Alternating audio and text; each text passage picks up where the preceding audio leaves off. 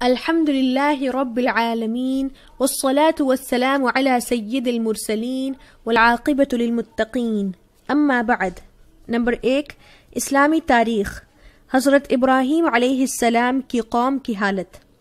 حضرت ابراہیم علیہ السلام نے جس خاندان اور ماحول میں آنکھیں کھولی، اس میں شرکت و بت پرستی اور ضلالت و گمراہی بالکل عام تھی۔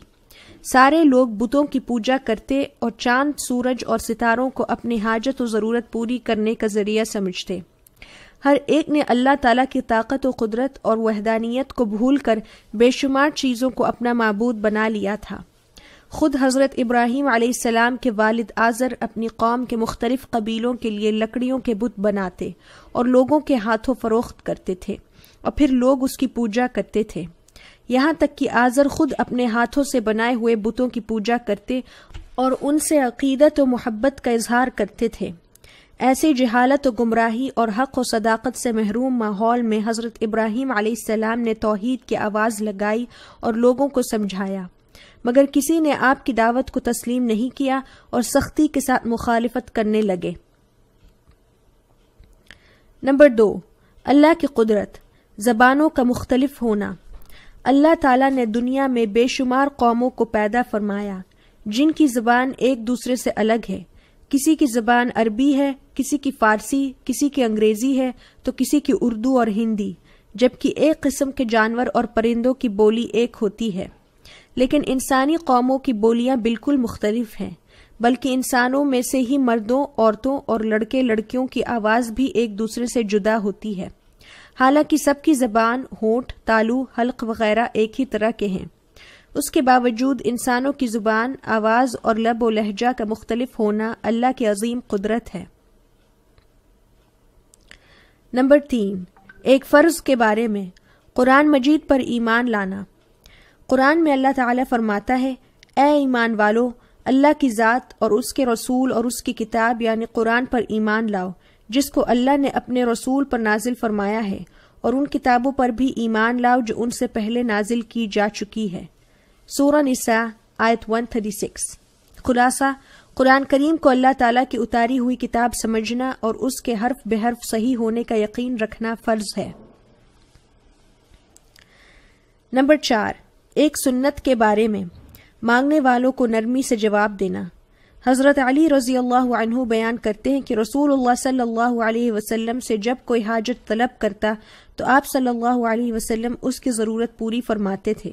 اگر نہ فرما سکتے تو بہت نرمی اور اخلاق سے اس سے کہتے اور معذرت فرماتے۔ اخلاق النبی اب شیخ سکسٹین۔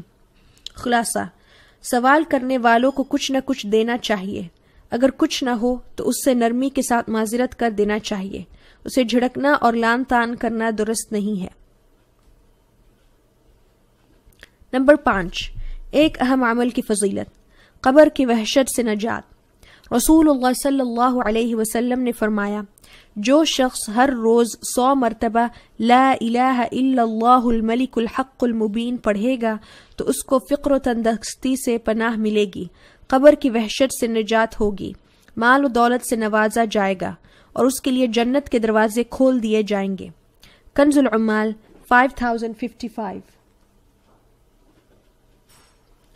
نمبر چھ، ایک گناہ کے بارے میں شطرنج کھیلنے کی ممانعات۔ رسول اللہ صلی اللہ علیہ وسلم نے فرمایا، جو شخص شطرنج کھیلتا ہے، وہ گویا اپنا ہاتھ خنزیر کے گوشت اور خون میں رنگتا ہے۔ مسلم 5896 عن بریدہ رضی اللہ عنہ۔ نمبر سات، دنیا کے بارے میں، دنیا کا فائدہ وقتی ہے۔ ایک مرتبہ رسول اللہ صلی اللہ علیہ وسلم نے اپنی تقریر میں فرمایا، غور سے سن لو، دنیا ایک وقتی فائدہ ہے، جس سے ہر شخص فائدہ اٹھاتا ہے، چاہے نیک ہو یا گنہگار معجم کبیر 7012 عن شداد بن اوس رضی اللہ عنہ۔ نمبر آٹھ، آخرت کے بارے میں، اہل جنت کا شکر ادا کرنا۔ قرآن میں اللہ تعالی فرماتا ہے، جنتی جنت میں داخل ہو کر کہیں گے کہ حمد اور شکر اس اللہ کے لیے ہے جس نے ہم سے ہر قسم کا غم دور کر دیا۔ بے شک ہمارا رب بڑا بخشنے والا، بڑا قدردان ہے، جس نے اپنے فضل سے ہم کو ہمیشہ رہنے کی جگہ میں اتارا۔ جہاں نہ ہم کو کوئی تکلیف پہنچے گی اور نہ ہم کو کسی قسم کی تھکان محسوس ہوگی۔ سورہ فاطر آیت 34 ٹو 35 نمبر نو، طب نبوی سے علاج، گھیکوار اور رائی کے فوائد۔ رسول اللہ صلی اللہ علیہ وسلم نے فرمایا، دو کڑوی چیزوں میں کس قدر شفا ہے؟ یعنی گھیکوار، ایلو ویرا اور رائی میں۔ سنن کبرا للبیحقی 9 سلیش 346 عن قیس بن رافع الاشجعی رحمہ اللہ۔ نوٹ کھیکوار چہرے پر لگانے سے اس کو نکھارتا ہے، جلد کی خشکی دور کرتا ہے، سر پر لگانے سے بال اگاتا ہے، جلے اور کٹے ہوئے نشانات کو دور کرتا ہے۔ اس کے استعمال کرنے سے شوگر کے مریض کو عافیت ہوتی ہے اور رائی کا تیل دماغ کو قوت بخشتا ہے، مالش کرنے سے جسم میں چستی پیدا کرتا ہے۔ نمبر دس، قرآن کی نصیحت۔ قرآن میں اللہ تعالی فرماتا ہے، اے انسان تجھے اپنے کریم رب کے بارے میں کس چیز نے دھوکے میں ڈال رکھا ہے؟